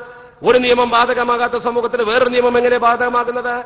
അപ്പോൾ ഇത് ചില പത്രക്കാരും അതുപോലെ തന്നെ വ്യാഖ്യാനക്കാരും വ്യാഖ്യാനിച്ച് ഒതുക്കി കൂട്ടി ഉണ്ടാക്കിയതാണ്. അതുകൊണ്ട് തന്നെ മുസ്ലിം സമൂഹത്തെ സംബന്ധിച്ചിടത്തോളം അവന്റെ മേൽ പതിനെട്ട് വയസ്സേ അവന്റെ പെൺകുട്ടിക്ക് വിവാഹമാകാൻ സപ്രായം പാടുള്ളൂ എന്നൊരു നിയമം ഒരിക്കലും അടിച്ചേൽപ്പിക്കാൻ ഇന്ത്യയിൽ വകുപ്പില്ല. പിന്നെ എന്തുകൊണ്ട് അങ്ങനെ വന്നു? നമ്മുടെ നിയമങ്ങൾ പലതും വ്യാഖ്യാനിക്കുന്നത് പോലെയാണ് കാര്യങ്ങളൊക്കെ നടക്കുന്നത്. ഈ നിയമങ്ങൾ വ്യാഖ്യാനിച്ചുകൊണ്ടാണ് പലപ്പോഴും കാര്യങ്ങൾ തീരുമാനിക്കപ്പെടുന്നത്. അതുകൊണ്ട് തന്നെ ഇവിഷയകമായി മുസ്ലിം സമൂഹത്തിന്റെ പ്രശ്നം ഒരു നീതിന്യായ കോടതിക്ക് മുമ്പാകെ ഉന്നയിക്കുക എന്നത് തികച്ചും ന്യായമായ ഒരു കാര്യമാണ്. അങ്ങനെ ഒരു നീതിന്യായ കോടതിക്ക് മുമ്പിൽ മുസ്ലിം സമൂഹത്തിന്റെ ഈ പ്രശ്നം ഉന്നയിക്കുന്നതിന് വേണ്ടി മുസ്ലിം സംഘടനകൾ ഒന്നിച്ച് കോഴിക്കോട്ട് യോഗം ചേർന്നു. ആ യോഗം ചേർന്ന് ഈ വിഷയം വളരെ ഗൗരവത്തിൽ ചർച്ച ചെയ്തു. കാരണം എന്താ? ചില പ്രദേശത്തൊക്കെ ഇതിന്റെ പേരിൽ വിവാഹം മുടങ്ങുന്ന അവസ്ഥ വന്നു. പതിനേഴ് വയസ്സായ കുട്ടികളുടെ വിവാഹം തീരുമാനിക്കാൻ വേണ്ടി മുന്നോട്ട് വന്നപ്പോൾ ആ നിക്കാഹ് നടക്കുന്ന സന്ദർഭത്തിൽ പലരും വിളിച്ച് ഭീഷണിപ്പെടുത്തി കോടതിയിൽ പോകേണ്ടി വരും. നിയമ നടപടി ഉണ്ടാവും. സ്വാഭാവികമായും ഒരു കാതി ഈ നിക്കാഹ് ചെയ്തു കൊടുത്താൽ അതിന്റെ പേരിൽ അയാൾ കോടതി നടപടിക്ക് വിധേയനാകുന്ന ഒരു അവസ്ഥാവിശേഷത്തെക്കുറിച്ച് നിങ്ങൾ ആലോചിച്ച് നോക്ക്. ഒരു പക്ഷേ അയാൾ പിന്മാറും. അതല്ലെങ്കിൽ പിതാവ് പിന്മാറും അല്ലെങ്കിൽ ഭർത്താവ് പിന്മാറും. ഇത്തരം ഒരു പ്രത്യേക സാഹചര്യം പല സ്ഥലങ്ങളിലും വന്നു. പല സ്ഥലങ്ങളിലും കല്യാണം മുടങ്ങി. അങ്ങനെ വരുമ്പോൾ അതേക്കുറിച്ച് ഗൗരവതരമായി ചർച്ച ചെയ്യൽ ആവശ്യമാണെന്ന് കണ്ട് കോഴിക്കോട്ട് യോഗം ചേർന്നു. ആ യോഗം ചേർന്ന് ഇതൊരു നിയമ പ്രശ്നമായതുകൊണ്ട് ഈ വിഷയം നമ്മുടെ രാജ്യത്ത് ഒരു കോടതിക്ക് മുമ്പിൽ കൊണ്ടുവരികയും നിയമജ്ഞരുമായി ചർച്ച ചെയ്തുകൊണ്ട് ഈ വിഷയത്തെ നമ്മൾ സമീപിക്കുകയും വേണമെന്ന് വളരെ വ്യക്തമായി നമ്മുടെ രാജ്യത്തെ ജനവിഭാഗം ഈ വിഷയത്തെക്കുറിച്ച് ചർച്ചക്കെടുക്കാൻ വേണ്ടി പണ്ഡിതന്മാരും അതുപോലെ തന്നെ വിവിധ മതസംഘടനാ നേതാക്കളും ഒന്നിച്ചു കൂടി ഇരുന്നു കൊണ്ട് ചർച്ച ചെയ്യപ്പോൾ ചില ആളുകൾ അതിനെ ദുർവ്യാഖ്യാനം ചെയ്തു. പ്രത്യേകിച്ച് സമത്വ കേരള ജംഇയ്യത്തുലമ എന്ന പണ്ഡിത സഭ അതിന്റെ പ്രതിനിധികൾ അതിൽ പങ്കെടുത്തിരുന്നു നേതൃത്വം കൊടുത്തിരുന്നു. ഇവിടെ വന്നുപോയ ബഹുമാനപ്പെട്ട കോട്ടുമല വാപ്പുസിലർ അതിന്റെ തലപ്പത്തുണ്ടായിരുന്നു. ആ പണ്ഡിത സഭയിൽ വെച്ച് ചർച്ച നടത്തിക്കൊണ്ട് തീരുമാനമെടുത്തുകൊണ്ട് പത്രക്കാരോട് പറഞ്ഞപ്പോ ചില പത്രങ്ങളും ചില ദൃശ്യമാധ്യമങ്ങൾ പ്രത്യേകിച്ചും അത് ഏറ്റുപിടിച്ചു. അവർ പറഞ്ഞു മുസ്ലിം സമൂഹത്തിൽ പ്രത്യേകിച്ച് സമത്വ കേരള ജംഇയ്യത്തുലമ പെൺകുട്ടികളുടെ വിവാഹപ്രായം പതിനാറാക്കാൻ ആവശ്യപ്പെടുന്നു. വിവാഹപ്രായം കുറയ്ക്കാൻ ആവശ്യപ്പെടുന്നു. അടിസ്ഥാനരഹിതമായ ഒരു ആരോപണമാണല്ലോ മുസ്ലിം സംഘടനകൾക്കെതിരെ ഉന്നയിക്കപ്പെട്ടത്. ഒരു മുസ്ലിം സംഘടനയും ഒരു പെൺകുട്ടിയുടെ വിവാഹം പതിനാറാക്കണമെന്നോ പതിനഞ്ചാക്കണമെന്നോ പറഞ്ഞിട്ടില്ല. പതിനെട്ടിൽ കുറക്കണമെന്നും ആവശ്യപ്പെട്ടിട്ടില്ല. ഇന്ന പ്രായത്തിൽ പെൺകുട്ടി വിവാഹം കഴിക്കണമെന്ന് വാശി പിടിച്ചിട്ടുമില്ല. അത്തരമൊരു ചർച്ചയെ മുസ്ലിം സംഘടനകളുടെ യോഗത്തിൽ ഉണ്ടായിട്ടില്ല. ആ ചർച്ചകൾ വരുന്നതിന് പകരം എന്താ അവിടെ ഉന്നയിക്കപ്പെട്ടത്? ഒരു നിശ്ചിത പ്രായം എന്ന നിബന്ധന വെച്ചാൽ അത് ശരിയത്ത് അംഗീകരിക്കാത്ത കാര്യമായതുകൊണ്ടും ഒരു പിതാവിനെ സംബന്ധിച്ചിടത്തോളം അവന്റെ കുട്ടിയെ വിവാഹം കഴിച്ചയക്കേണ്ട ഒരു സന്ദർഭം വന്നാൽ ചില പ്രത്യേക സാഹചര്യത്തിൽ ഒരു പക്ഷേ അങ്ങനെ വന്നുവെന്ന് വരാം. മാനുഷികമായ ചില സാഹചര്യങ്ങൾ ഉദാഹരണമായി നിങ്ങൾ പരിശോധിച്ച് നോക്ക്. വളരെ വ്യക്തമായി നമുക്കിന്ന് പരിശോധിച്ചാൽ ആ ചില സത്യങ്ങൾ തന്നെ തുറന്നു പറയാൻ കഴിയും. വളരെ വ്യക്തമായി അനുഭവപ്പെട്ട ചില സത്യങ്ങൾ നമ്മുടെ നാട്ടിൽ തന്നെ ഉദാഹരണമായി ഒരാൾ മാരക രോഗം ബാധിച്ചു എന്നിരിക്കട്ടെ. ഇന്നത്തെ കാലഘട്ടത്തിൽ ഏറ്റവും അപകടകരമായ രോഗമാണ് ക്യാൻസർ. അള്ളാഹു നമ്മളെ ഓരോരുത്തരെയും കാത്തുരക്ഷിക്കുമാറാവട്ടെ. ഒരു ക്യാൻസർ പിടിച്ച പിതാവ്. ആ പിതാവിനെ സംബന്ധിച്ചിടത്തോളം ഇന്ന് ഒരു വിദഗ്ധ ടെസ്റ്റ് നടത്തിയാൽ. ആ പിതാവിനോട് സ്വാഭാവികമായും വിദഗ്ധ ടെസ്റ്റ് വിധേയമാക്കിയ ഡോക്ടർ അതിന്റെ കാലാവധി പറഞ്ഞു കൊടുക്കും. മാരകമാണ് രോഗമെങ്കിൽ ഒരു പക്ഷേ ഒരു വർഷം അല്ലെങ്കിൽ ഒന്നര വർഷം. അങ്ങനെയൊക്കെ വിശ്വകരന്മാർ പറഞ്ഞാൽ ഇസ്ലാമിക നീതിശാസ്ത്രം അനുസരിച്ചുകൊണ്ട് അത് സ്വീകരിക്കാവുന്നതേ ഉള്ളൂ. അവന്റെ ശരീരത്തിന്റെ ആയുസ് നിർണയിക്കാൻ അയാൾക്ക് അവകാശമുണ്ടോ എന്ന മറു ചോദ്യമല്ല പ്രധാനം. കാര്യങ്ങളൊക്കെ പടച്ചറപ്പിന്റെ കയ്യിലാണെങ്കിലും അവന്റെ ആന്തരാവയവത്തിന് വന്ന അപകടത്തെക്കുറിച്ച് ബോധ്യമുള്ള ഒരു ഡോക്ടർ അക്കാര്യത്തെക്കുറിച്ച് അവനൊരു കാര്യം പറഞ്ഞാൽ അവനത് സ്വീകരിക്കാവുന്നതല്ലേ ഉള്ളൂ. അങ്ങനെ വരുമ്പോൾ നീ ഒരു കൊല്ലം കൊണ്ട് മരിച്ചു പോകാൻ സാധ്യതയുണ്ട് എന്ന് ഒരു ഡോക്ടർ പറഞ്ഞാൽ അയാൾക്ക് പതിനേഴ് വയസ്സ് പ്രായമുള്ള ഒരു പെൺകുട്ടി ഉണ്ടെന്നിരിക്കട്ടെ. ആ പെൺകുട്ടിക്കൊരു മോഹം എന്റെ പാപ്പ ജീവിച്ചിരിക്കുമ്പോ തന്നെ എന്റെ പിതാവ് കൈ കൊടുത്തുകൊണ്ട് എന്റെ വിവാഹം നടത്തണം. ആ മനുഷ്യൻ ആറ്റുനൂറ്റി വളർത്തിയ ഒരു പെൺകുട്ടി മാത്രമേ അയാൾക്കുള്ളൂ എന്നിരിക്കട്ടെ. ആ ജീവിതം തന്നെ ആ പെൺകുട്ടിക്ക് വേണ്ടിയായിരിക്കാം. ആ പെണ്ണിനെ എത്ര സ്നേഹിച്ചിരിക്കാം സ്വന്തം മകളെ? അത്തരമൊരു വൈകാരികതയെക്കുറിച്ച് എന്റെ സദസ്സിലിരിക്കുന്ന പ്രിയപ്പെട്ട സുഹൃത്തുക്കളൊന്ന് ഓർത്ത് നോക്ക്. ആ പെൺകുട്ടിയെ വിവാഹം കഴിച്ചയക്കാൻ അയാൾക്ക് താല്പര്യമേറെ ഉണ്ടാകും ആ മനുഷ്യൻ ഈ പെൺകുട്ടിയെ വിവാഹം കഴിച്ചു കൊടുക്കുന്നത് എന്റെ ജീവിതകാലത്ത് തന്നെ ആയിരിക്കണമെന്ന് തീരുമാനിച്ചുകൊണ്ട് ആ പതിനേഴാമത്തെ വയസ്സിൽ ഒരു വരന്റെ കയ്യിൽ അവളെ പിടിച്ചു കൊടുക്കാൻ തീരുമാനിച്ചാൽ വയസ്സ് തികഞ്ഞിട്ടില്ല എന്നതിന്റെ പേരിൽ ഈ പാവപ്പെട്ട മനുഷ്യനെ അറസ്റ്റ് ചെയ്ത് കൊണ്ടുപോകുന്ന അല്ലെങ്കിൽ കോടതിയിൽ ശിക്ഷിക്കപ്പെടുന്ന ഒരവസ്ഥയെക്കുറിച്ച് ഓർത്ത് നോക്ക് നിങ്ങൾ. ആ പാവപ്പെട്ട മനുഷ്യന്റെ അന്ത്യാഭിലാഷ പൂർത്തീകരണത്തിന് പോലും അവസരം കൊടുക്കാത്തൊരു നിയമം എന്ത് നിയമമാണിത്? അതുകൊണ്ട് തന്നെ മനുഷ്യത്വപരമായി ആ നിയമം ശരിയല്ലല്ലോ. ഭരണഘടനാപരമായി ശരിയല്ല എന്ന് ഞാൻ നേരത്തെ പറഞ്ഞു. അതുകൊണ്ട് തന്നെ മനുഷ്യത്വപരമായി ഇതിനെന്ത് ശരിയാണുള്ളത്? തന്നെയുമല്ല നിങ്ങൾ ആലോചിച്ച് നോക്കും നമ്മളാരും പതിനാറ് വയസ്സിൽ വിവാഹം കഴിക്കണമെന്ന് പറയുന്നില്ല. പതിനാറ് വയസ്സിൽ പെൺകുട്ടിയെ പിടിച്ചു കൊടുക്കണമെന്ന് വാശി പിടിക്കുന്നില്ല. പഠിക്കുന്ന പെൺകുട്ടികൾ പഠിക്കട്ടെ. അവർക്ക് അതിന് വേണ്ട സകല സൗകര്യങ്ങളും സമൂഹം ചെയ്തു കൊടുക്കട്ടെ. വിദ്യാഭ്യാസത്തിന് ഈ സമൂഹം എതിരല്ലല്ലോ. വിവരസാങ്കേതിക വിദ്യ വളരുന്ന കാലത്ത് കുട്ടികളെ കൂടുതൽ പഠിപ്പിക്കുന്നതിന് നമ്മൾ എതിരല്ലല്ലോ. നേരെ മറിച്ച് കേവലം ഒരു കുട്ടിക്ക് പതിനെട്ട് വയസ്സാകുമ്പോൾ വിദ്യാഭ്യാസം പൂർത്തിയാകുമോ? ഒരു പ്ലസ് ടു പാസ്സാകുന്ന പ്രായമല്ലേ അപ്പോഴാകുന്നുള്ളൂ. ഇന്നത്തെ കാലഘട്ടത്തിൽ ഒരു പ്ലസ് ടു പഠനം കൊണ്ടൊരു കുട്ടിക്ക് എന്ത് പറ്റി? വിദ്യാഭ്യാസം തടയപ്പെടുന്നു എന്ന ആരോപണം ബാലിശമല്ലേ? എന്റെ അറിവിലുണ്ട്. ഒരു പെൺകുട്ടി വിവാഹിതയായതിന്റെ ശേഷം എം ബി ബി എസ് പഠിച്ച് പാസ്സായത്. മെഡിസിൻ പഠിക്കാൻ ആ കുട്ടിക്ക് മോഹം. കുട്ടിക്ക് മെറിറ്റിൽ കിട്ടില്ല പക്ഷേ സ്വാശ്രയ കോളേജിൽ പഠിക്കാൻ കഴിയും. അതിന് വേണ്ട സൗകര്യങ്ങളൊക്കെ ആ കുട്ടിക്കുണ്ട് പക്ഷേ അവളുടെ സ്വന്തം കുടുംബത്തിനോളം പഠിപ്പിക്കാൻ ഒരിക്കലും കഴിയില്ല. സ്വാശ്രയ കോളേജിലെ ഫീസ് കൊടുക്കാൻ കഴിയില്ല. അതുകൊണ്ട് തന്നെ ഒരു ചെറുപ്പക്കാരൻ അവളെ വിവാഹം കഴിച്ചു വിവാഹം കഴിച്ചു തന്നാൽ ഞാൻ അവളെ പഠിപ്പിച്ചു കൊള്ളാമെന്ന് പറഞ്ഞ് ഏറ്റെടുത്തുകൊണ്ട് അവളെ നിക്കാഹ് നടത്തി വിദേശത്ത് പോയി. അവന്റെ തൊഴിൽ അവൻ ഏർപ്പെട്ടുകൊണ്ട് പണം അയച്ചു കൊടുത്തുകൊണ്ട് അഞ്ചു വർഷം ഈ പെൺകുട്ടി എം ബി ബി എസിനെ പഠിപ്പിച്ച് പുറത്തെടുത്ത മനുഷ്യനെ എനിക്കറിയാം. അയാളുടെ കയ്യിൽ ആ പെൺകുട്ടി ഏൽപ്പിച്ചു കൊടുത്തില്ലായിരുന്നുവെങ്കിൽ ആ പെൺകുട്ടിക്ക് ഒരു വിവാഹ ജീവിതം ഉണ്ടാകുമെങ്കിലും അവൾ ആഗ്രഹിക്കുന്ന എം ബി ബി എസ് എന്ന് പറയുന്ന ബിരുദം അവൾക്ക് ലഭ്യമാകുമായിരുന്നില്ല. അത്ര വലിയ സൗകര്യം ഈ പെൺകുട്ടിക്ക് ചെയ്തു കൊടുത്തത് ഈ ചെറുപ്പക്കാരൻ അവളെ തന്റെ ജീവിതത്തിലേക്ക് ഏറ്റെടുത്തത് കൊണ്ടല്ലേ? പതിനെട്ട് വയസ്സ് തികയുന്നതിന് മുമ്പാണ് അവന്റെ നിക്കാഹ് നടന്നത്. ആ നിക്കാഹ് അസാധുവാണെന്ന് പറഞ്ഞാൽ ആ പുരുഷൻ സ്വാഭാവികമായി ഈ പെൺകുട്ടിയെ പഠിക്കാൻ ഈ സഹായം കൊടുത്തുകൊണ്ട് പ്രോത്സാഹിപ്പിക്കുമായിരുന്നോ? നിങ്ങൾ ഓർത്തു നോക്കൂ. ഇത്തരം ചില പ്രശ്നങ്ങളൊക്കെ നമ്മുടെ സമൂഹത്തിലുള്ളത് കണ്ണടച്ച് എല്ലാം അടച്ചാക്ഷേപിക്കുന്ന ഒരു സമീപനത്തിലേക്ക് എങ്ങനെ മാധ്യമങ്ങൾ വന്നു? എന്താണ് ഇതിന്റെ താല്പര്യമെന്ന് ആലോചിച്ച് നോക്കും നിങ്ങൾ ഇപ്പോൾ എന്റെ മുമ്പിൽ വളരെ വേദനാജനകമായ ഒരു ചിത്രമുണ്ട് എന്റെ സുഹൃത്ത്. ഈ ചർച്ച വന്നപ്പോൾ ഏകദേശം ആറ് മാസം മുമ്പ് ടെലിഫോണിലൂടെ പൊട്ടിക്കരഞ്ഞുകൊണ്ട് എന്റെ ഒരു പ്രിയപ്പെട്ട സുഹൃത്ത് എന്നോട് പറഞ്ഞ കാര്യം ആ വ്യക്തി പാലക്കാട് ജില്ലക്കാരനാണ്. അബുദാബിയിൽ ജോലി ചെയ്യുന്ന ഒരു പ്രിയ സുഹൃത്ത്. ആ പ്രിയ സുഹൃത്ത് തന്റെ കമ്പനിയിലെ ജോലി നല്ല മനോഹരമായ ജോലി കമ്പനി അനുവദിച്ചു കൊടുത്ത ഫ്ളാറ്റ് ആ ഫ്ളാറ്റ് ഒരു ഫാമിലിക്കുള്ള ഫ്ളാറ്റാണ് ഫാമിലി ഫ്ളാറ്റും സൗകര്യവും പ്രത്യേക ഫാമിലി അലവൻസും. ഭാര്യയെ കൊണ്ടുവന്ന് ആ റിപ്പോർട്ട് കമ്പനിയിൽ കൊടുത്താൽ മാത്രമേ ഇത് നിലനിൽക്കൂ. ഇല്ലെങ്കിൽ ഒരു വർഷത്തിലധികമോ നിലനിർത്താൻ അവന് കഴിയില്ല.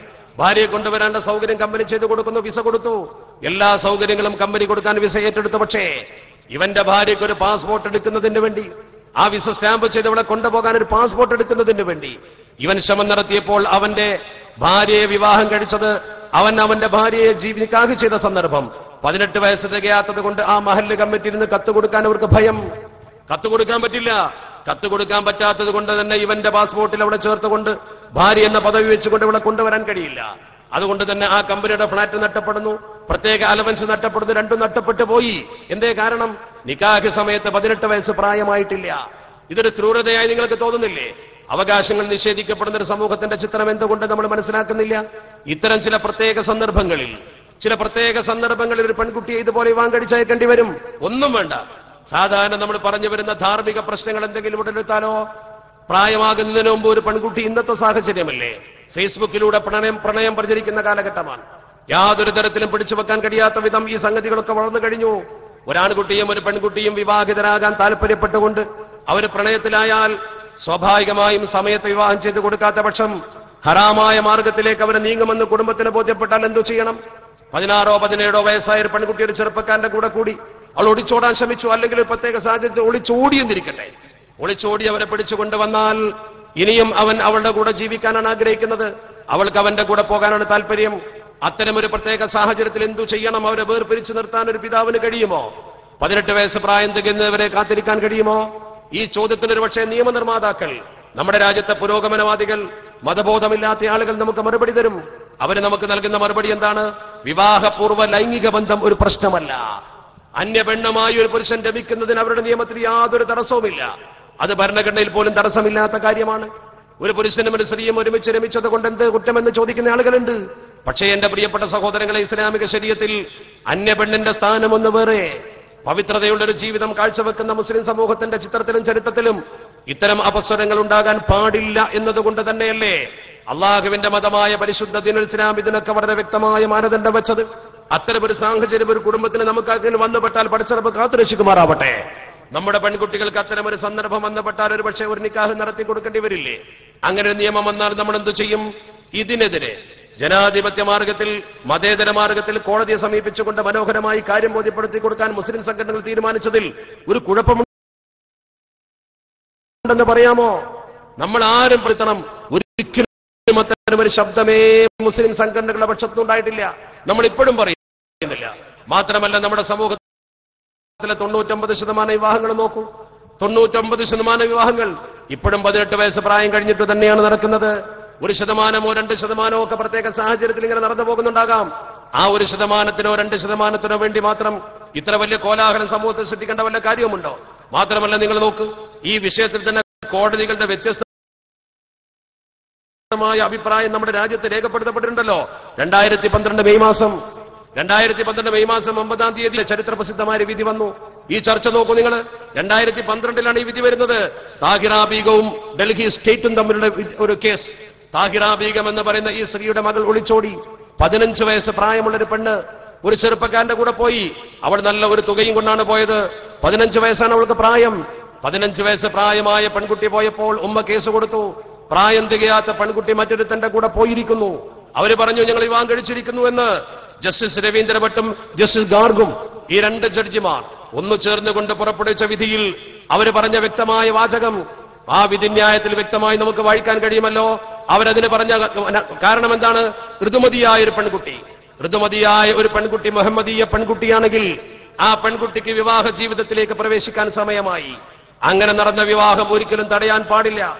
ഡൽഹി ഹൈക്കോടതിയുടെ വിധി അങ്ങനെയാ എവരി മുഹമ്മദൻ എവരി മുഹമ്മദൻ എന്ന് പറഞ്ഞുകൊണ്ടാണ് ആ വിധിയിലെ പരാമർശം ആരംഭിക്കുന്നത്. ഏതൊരു മുഹമ്മദൻ എന്ന് പറഞ്ഞാൽ മുഹമ്മദീയർക്ക് പ്രത്യേക നിയമമുണ്ട്. ഇസ്ലാമിക ശരീരത്തിനെ കുറിച്ചാണ് അദ്ദേഹം പറഞ്ഞത്.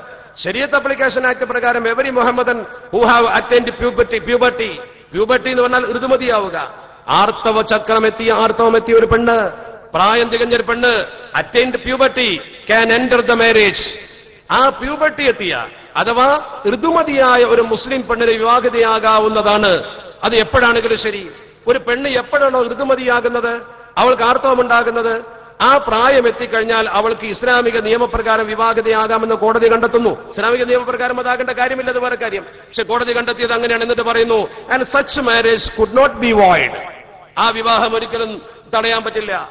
അത്തരമൊരു വിവാഹം ഒരിക്കലും തടയാൻ പറ്റില്ല. ഉമ്മയോട് കോടതി പറയുന്നു നിങ്ങളെ മകൾക്ക് പതിനഞ്ച് വയസ്സേ പ്രായമായിട്ടുള്ളവെങ്കിലും ഈ ഋതുമതിയായ പെൺകുട്ടിക്ക് ഭർത്താവിന്റെ കൂടെ ജീവിക്കാവുന്നതാണ്. അത്തരമൊരു വിവാഹം ഒരിക്കലും തടയാൻ പാടില്ല. ഞാൻ ചോദിക്കട്ടെ പതിനെട്ട് വയസ്സാകാതെ പെണ്ണിനെ കെട്ടിക്കാൻ പാടില്ല. എന്ന നിയമം നിലനിൽക്കുന്ന ഒരു രാജ്യത്ത് രണ്ടായിരത്തി ആറിലെ നിയമം നിലനിൽക്കുന്ന രാജ്യത്ത് പതിനഞ്ച് വയസ്സ് പ്രായമുള്ള ഒരു പെണ്ണിനെ എങ്ങനെയാ ചെറുപ്പക്കാരന്റെ കൂടെ അയക്കുന്നത്? ആ വിവാഹം എങ്ങനെ നിലനിൽക്കുന്നത്? കോടതി ഒരു ഭാഗത്ത് പറയുന്ന എന്താ? പതിനെട്ട് വയസ്സ് പ്രായമാകാത്ത വിവാഹം ഒരിക്കലും പാടില്ല. മറുഭാഗത്ത് പറയുന്നതോ പതിനഞ്ച് വയസ്സ് പ്രായമായ വിവാഹമാകാവുന്നതാണ്. എന്താണ് ഇതിന്റെ അർത്ഥം? പതിനെട്ട് വയസ്സിന്റെ മുമ്പ് നടന്ന വിവാഹം വിവാഹമല്ല എന്ന് കോടതി സമ്മതിക്കുന്നില്ല. അത് വിവാഹമാണ്. ആ വിവാഹം അനുസരിച്ചുകൊണ്ട് പെണ്ണിന് പുരുഷന്റെ വീട്ടിൽ പോയി ജീവിക്കാവുന്നതാണ്. രണ്ടു കാരണങ്ങളാണ് ഈ ഡൽഹി ഹൈക്കോടതി വിധിയിൽ ഉദ്ധരിച്ചിട്ടുള്ളത്. ഒരു കാരണം മുസ്ലിം വ്യക്തി നിയമം. മുസ്ലിം വ്യക്തി നിയമത്തിൽ ഒരു പെണ്ണിന് ഋതുമതിയായാൽ തന്നെ വിവാഹമാകാമെന്ന് അദ്ദേഹം പറയുന്നു. രണ്ടാമത്തതോ ശൈശവ വിരോധന നിയമമുണ്ടല്ലോ. പി സി എം എ നമ്മുടെ രാജ്യത്തെ prohibition of child marriage act ആ ആക്ടിൽ രണ്ടായിരത്തി ആറിലെ ആക്ടിൽ ഇന്ന പ്രായത്തിൽ നടന്ന വിവാഹമേ സാധൂകരിക്കപ്പെടൂ എന്ന് പറഞ്ഞിട്ടില്ല. ആ വിവാഹം നടന്നാൽ കുറ്റകരമാണെന്നേ പറഞ്ഞിട്ടുള്ളൂ. മറിച്ച് പതിനെട്ട് വയസ്സിന്റെ മുമ്പ് ഒരു വിവാഹം നടന്നാൽ അത് വിവാഹമല്ല അത് നിലനിൽക്കില്ല എന്ന ഒരു പരാമർശം ആ നിയമത്തിലില്ല. നടത്തിക്കൊടുത്താൽ വിവാഹം വിവാഹം തന്നെയാണ്. ഈ രണ്ട് പരാമർശങ്ങൾ വെച്ചുകൊണ്ടല്ലേ വളരെ വ്യക്തമായി പറഞ്ഞത്. മാത്രമല്ല ഋതുമതിയായ മുസ്ലിം പെൺകുട്ടി പതിനെട്ടിന് മുമ്പ് വിവാഹം കഴിക്കാൻ യോഗ്യയാണ് എന്ന് പാറ്റ്ന ഹൈക്കോടതി ആയിരത്തി തൊള്ളായിരത്തി എൺപതിലൊരു നിയമം പാസാക്കിയിട്ടുണ്ടല്ലോ. ഈ നിയമങ്ങളൊക്കെ ഉള്ള ഒരു രാജ്യത്ത് പിന്നെ എന്തിനാ നമുക്കെതിരെ ഈ ജൽപ്പനങ്ങളൊക്കെ നടത്തിക്കൊണ്ടിരിക്കുന്നത്? നമ്മുടെ വിഷയം ഇവിടെ സംഘാടകർ വെച്ച പോലെ അഭിനവ ജൽപ്പനങ്ങളുടെ അടിത്തറ ഏതെല്ലാം സമൂഹം ഈ ജനമൊക്കെ നമുക്ക് പതിനെട്ട് വയസ്സിന്റെ മുമ്പ് നമ്മുടെ നാട്ടിൽ വല്ല വിവാഹങ്ങളും നടന്നു പോയിട്ടുണ്ടെങ്കിൽ കോടതി പറയുന്ന എന്താ? രണ്ട് കോടതി വിധികൾ നമ്മൾ പരാമർശിച്ചു. ഒന്ന് പാറ്റ്ന ഹൈക്കോടതിയുടെ വിധി അതുപോലെ തന്നെ ഡൽഹി ഹൈക്കോടതിയുടെ വിധി. ഈ രണ്ട് വിധിയിലും മാത്രമല്ല രണ്ടായിരത്തി ആറിലെ പി സി എം എ ആ ആക്ടിലും ആ രണ്ട് നിയമത്തിലും ഒരിക്കലും പതിനെട്ടിന് മുമ്പ് നടന്ന വിവാഹം വിവാഹമല്ല എന്ന് പറയുന്നില്ല. അപ്പോൾ പിന്നെ രണ്ടായിരത്തി പതിമൂന്ന് ജൂൺ മാസം പതിനാലാം തീയതി അതിന്റെ പേരിൽ എന്തിനാ വിവാദങ്ങളൊക്കെ ഉണ്ടാക്കിയത്? അത് വിവാഹമാണെങ്കിൽ പിന്നെ അതങ്ങ് രജിസ്റ്റർ ചെയ്തു കൊടുത്തൂടെ? അത് വിവാഹമാണ് എന്ന് പറയുന്നു കോടതി. അത് വിവാഹമായി അംഗീകരിക്കണമെന്ന് പറയുന്നു. ഒരു ഉമ്മയോട് പോലും മകൾ പതിനഞ്ച് വയസ്സിൽ ചാടിപ്പോയപ്പോ കോടതി പറയുന്നു അവൾക്ക് അങ്ങനെ പോകാൻ അർഹതയുണ്ട്.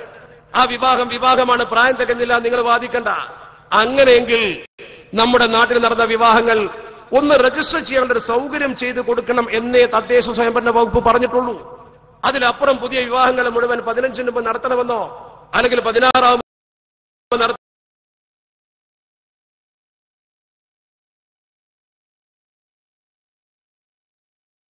നടത്തണമെന്നോ പതിനേഴാവുമ്പോ നടത്തണമെന്നോ ഒരിക്കലും പറഞ്ഞിട്ടില്ല. ഇരുന്ന് പറഞ്ഞാൽ എന്താ എന്താണ് ആ വാക്കിന്റെ അർത്ഥം? പെണ്ണിനെ ശരിക്കും ജമാൽ കണ്ടുകൊണ്ട് അതുപോലെ തന്നെ സമ്പത്ത് കണ്ടുകൊണ്ട് കുടുംബം കണ്ടുകൊണ്ട് വിവാഹം കഴിക്കും. എല്ലാം പറഞ്ഞിട്ട് പിന്നെ പറഞ്ഞതോ ഫതുഫറബിദാത്തിദ്ദീൻ നീ ആ പെണ്ണിന്റെ മതം നോക്കിക്കൊണ്ട് വിജയിക്കണമെന്ന് പറഞ്ഞാൽ മതബോധം ഒരു പെണ്ണിന് വരണ്ടേ?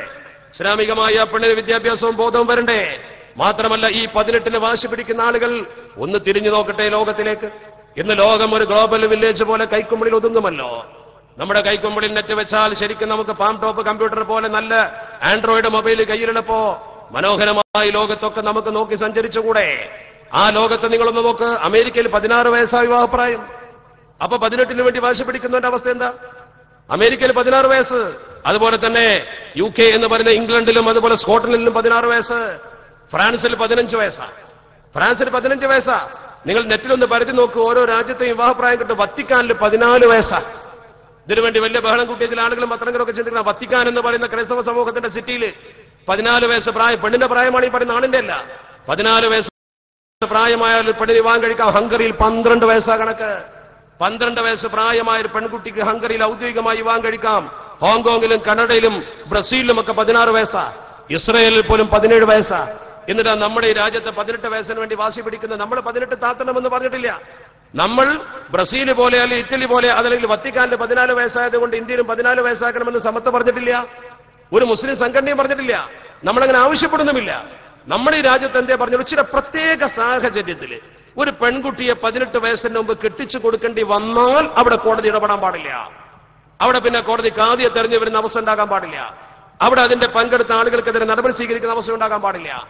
അത് ഒരു പ്രത്യേക സാഹചര്യത്തിൽ പ്രത്യേക സന്ദർഭത്തിന് ഒത്തുകൊണ്ട് ഒരു വിഷയത്തെ ശരിക്കും ലഘൂകരിക്കുന്നതിന് വേണ്ടി അവസാന പണി എന്ന രീതിയിൽ ഇവാൻ കടിച്ചു കൊടുത്തതാവാം. അങ്ങനെയുള്ള പ്രത്യേക കേസുകൾ അതുപോലെ നോക്കിക്കാണാൻ കഴിയുന്നില്ല എങ്കിൽ അത്തരമൊരു അവസ്ഥയിലേക്ക് സമൂഹത്തെ എത്തിക്കാൻ പത്രമാധ്യമങ്ങൾക്കും ചിന്തകന്മാർക്കും ബുദ്ധിജീവികൾക്കും കഴിയുന്നില്ലെങ്കിൽ എന്ത് ബുദ്ധിജീവികളും എന്ത് ചിന്തകന്മാരുമാണ് ഇവർ എന്താണ് അവരെ കുറിച്ച് നമുക്ക് പറയാനുള്ളത്? നിങ്ങളൊന്ന് ആലോചിച്ച് നോക്ക്. അതുപോലെ തന്നെ നിങ്ങൾ നോക്കി ഇവരൊക്കെ വലിയ പുരോഗമനവാദികളായി ചമഞ്ഞുകൊണ്ട് വിശുദ്ധ ദീനുൽ ഇസ്ലാമിനെ കൊച്ചാക്കാൻ ശ്രമിക്കുകയാണ്. അവിടെയാണ് നമ്മൾ ചിന്തിക്കേണ്ടത്. അള്ളാഹുവിന്റെ പരിശുദ്ധ ദീനുൽ ഇസ്ലാമിന്റെ നിയമങ്ങളെ കൊച്ചാക്കാൻ അവർക്ക് ഒരിക്കലും കഴിയില്ല. നിങ്ങൾ എന്തേ വിവാഹത്തിന് പ്രത്യേക സമയം നിശ്ചയിക്കാതിരുന്നത് എന്ന് ചോദിച്ചുകൊണ്ട് ഇസ്ലാമിനെ കൊച്ചാക്കുന്നവർ? അവർ പെണ്ണിന് വേണ്ടി കണ്ണീരൊഴിക്കുന്നുവെങ്കിൽ ഓർക്കണം അവരെന്താ പെണ്ണിനെ കുറിച്ച് പറയുന്നത്? ആധുനിക സമൂഹത്തിന് പെണ്ണിനെ കുറിച്ചുള്ള കാഴ്ചപ്പാടെന്താ അവർ പറയുന്നത് ഹ്യൂമണീസ് ബ്യൂട്ടി എന്നാണ്. ഹ്യൂമണീസ് ബ്യൂട്ടി പെണ്ണെന്ന് പറഞ്ഞാൽ അത് സൗന്ദര്യമാണ്. പെണ്ണ് സൗന്ദര്യമാണെന്ന് പറഞ്ഞുകൊണ്ട് അവർ പറയുന്നു and beauty is to be expose സൗന്ദര്യം എന്നാൽ പ്രദർശിപ്പിക്കാനുള്ളതാ. എന്താണ് ആ വാചകം നോക്ക് നിങ്ങൾ? ആധുനിക സമൂഹത്തിന്റെ ചിന്തയാണ് വിമണീസ് ബ്യൂട്ടി പെണ്ണ് സൗന്ദര്യമാണ്. സൗന്ദര്യമാണെങ്കിലോ and beauty is to be exposed സൗന്ദര്യമാണെങ്കിലോ ജനങ്ങൾക്ക് മുമ്പിൽ തുറന്നു വെക്കാനുള്ളതാ. അത് അടച്ചുപൂട്ടി വെക്കാനുള്ളതല്ല. ആധുനിക സമൂഹത്തിന്റെ ചിന്ത. എന്നാൽ അള്ളാഹുവിന്റെ പരിശുദ്ധ ദീൻ പെണ്ണിന് കൊടുത്ത സ്ഥാനമോ? അള്ളാഹുവിന്റെ പരിശുദ്ധ ദീൻ അഷ്റഫുൽ ഹൽക്ക് മുഹമ്മദ് മുസ്തഫ. സൊലല്ലാഹു അലൈഹി വസല്ലമ തങ്ങൾ ഈ സമൂഹത്തിൽ പെണ്ണിന്റെ പവിത്രത പഠിപ്പിച്ചു കൊടുത്ത് കുടിച്ചു മൂടപ്പെട്ടിരുന്ന ഒരു കാലഘട്ടത്തിൽ പക്ഷേ ഇസ്ലാം പെണ്ണിനോടൊന്ന് പറഞ്ഞു നീ പുറത്തിറങ്ങുമ്പോൾ വളരെ മനോഹരമായി ചിന്തിക്കണം. നിന്നെ കാത്തു നിൽക്കുന്ന ദൂഷ്യവലയത്തിൽപ്പെടുന്ന ആളുകളുണ്ടാകും. മനോഹരമായി പെണ്ണിനെ കുറിച്ച് പറഞ്ഞ വാചകം ഹസന ഫഇന്നനി ഹസന ഫഇന്നനി അക്ഷാ അലൈക്കി മിനൽ ഹബീസിൽ മുജ്രിമി. അക്ഷ അലൈക്കി മിനൽ ഹബീസിൽ മുജ്രിമി. നീ ഒരിക്കലും അത്തരം ആളുകളുടെ വലയിൽ പെട്ടുപോകാതിരിക്കാൻ പെണ്ണെ നീ ഭംഗിയുള്ളവളാണ് നീ ശരിക്ക് ശ്രദ്ധിക്കണമെന്ന് പറയുന്നു. ഒരു പെണ്ണിനോട് കവി മനോഹരമായി പറയുന്നു ഹസന അയാദാത്തൽ ജമാൽ ഭംഗിയുള്ള പെണ്ണെ. അക്ഷ അലൈക്ക് നിന്നെ കുറിച്ച് എനിക്ക് പേടിയാ. എന്താ നിന്നെ കുറിച്ച് എനിക്ക് പേടി? മിനൽ ഹബീസിൽ മുജ്രിം. നീചന്മാരായ തെറ്റുകാരായ ആളുകൾ നിന്റെ പിന്നാലുണ്ടാകും. അതുകൊണ്ട് എന്ത് ചെയ്യണം?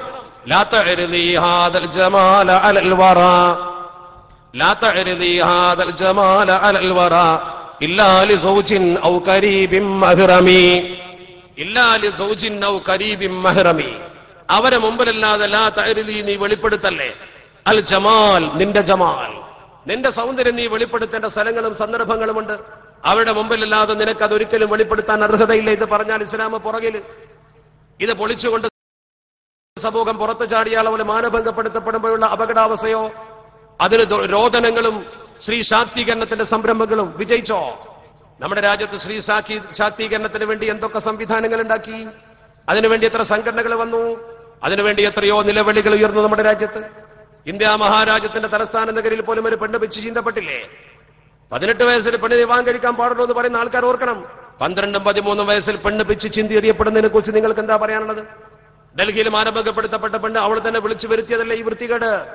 രാത്രി ഒമ്പത് മണിക്ക് ശേഷം ആരാന്റെ കൂടെ സിനിമ കാണാൻ പോയി കള്ളുകുടിയന്മാർ സഞ്ചരിക്കുന്ന ബസ്സിൽ കയറിയ പെണ്ണ് ഇന്ത്യ മഹാരാജ്യത്തിന് അപമാനമുണ്ടാക്കി പോയെങ്കിൽ മരിച്ചു പോയത് കൊണ്ട് കൂടുതലൊന്നും പറയാൻ കഴിയില്ലെങ്കിലും ആ പെണ്ണ് ചെയ്ത തമ്മാടിത്തം ചെറുതല്ലല്ലോ.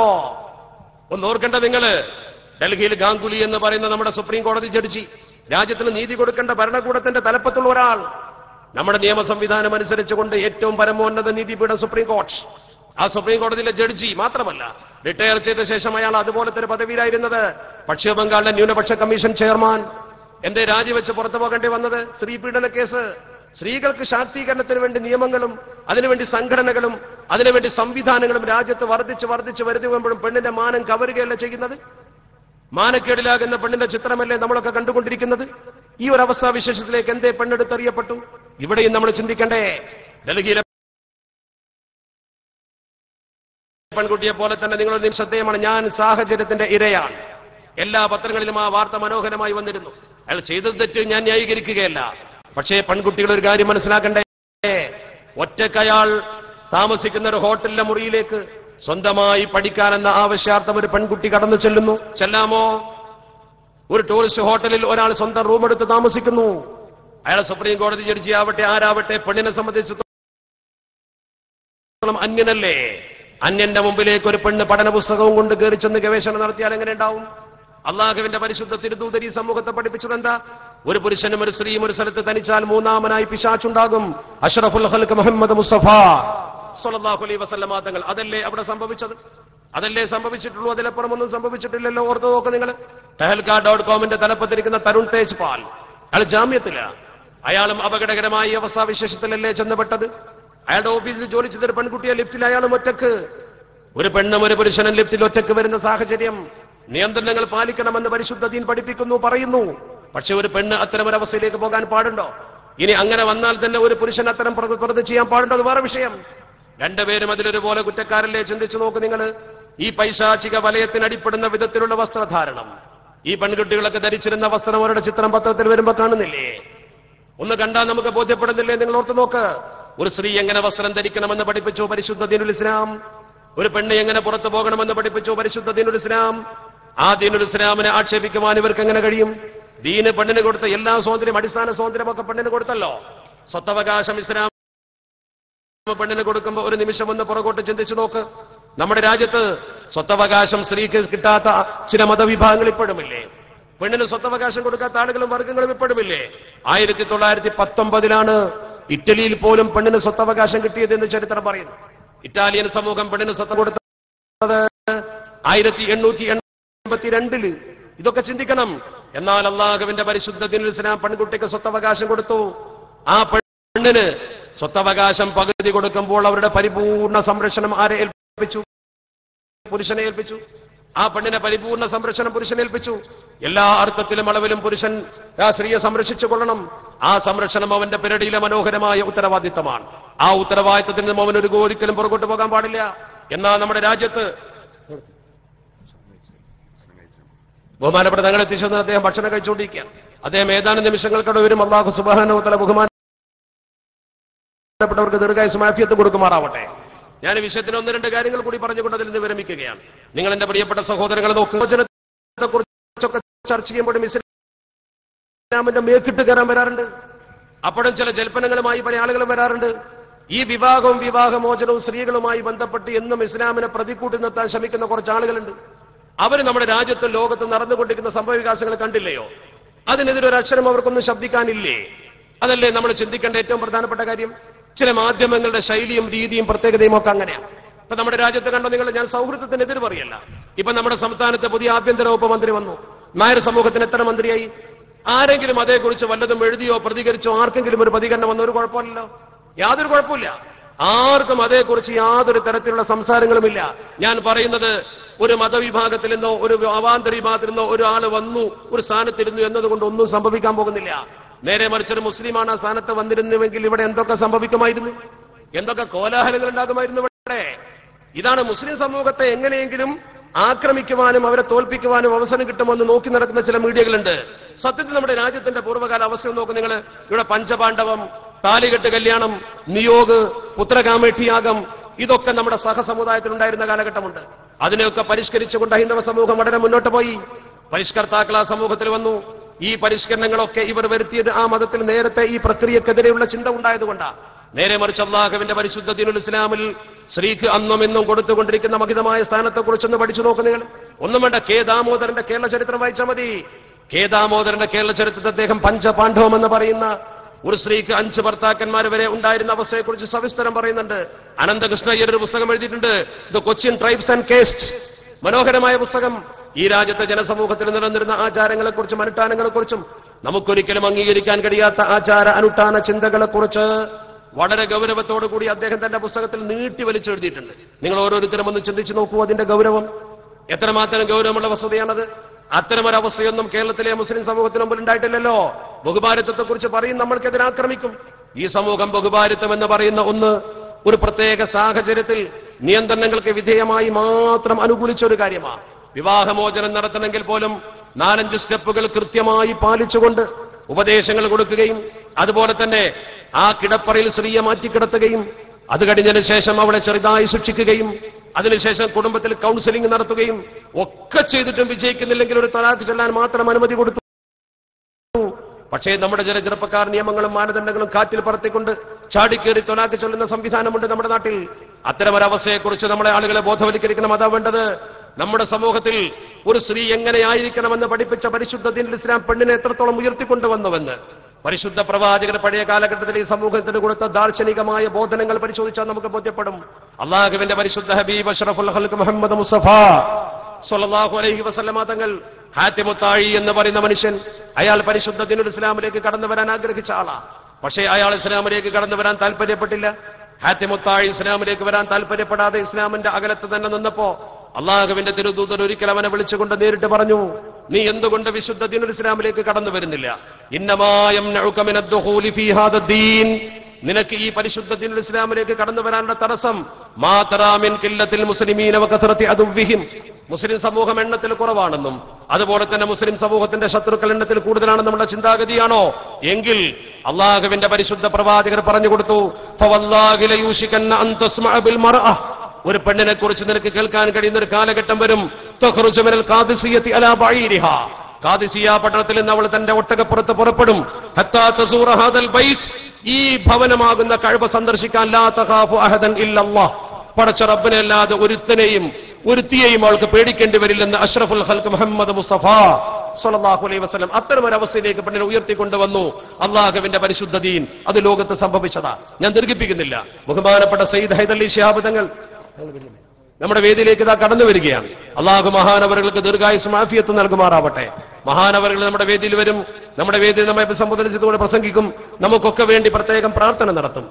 ഒരുപാട് പരിപാടികൾ കഴിഞ്ഞ് നിരന്തരമായ പരിപാടികളുടെ ബാഹുല്യത്തിൽ വളരെ പ്രയാസപ്പെട്ടുകൊണ്ടാണ് അദ്ദേഹം കടന്നു വരുന്നത്. വഴിയിൽ അദ്ദേഹത്തിന് ഇങ്ങോട്ട് കടന്നു വരാൻ സുഗമമായ സൗകര്യമൊരുക്കി കൊടുക്കണം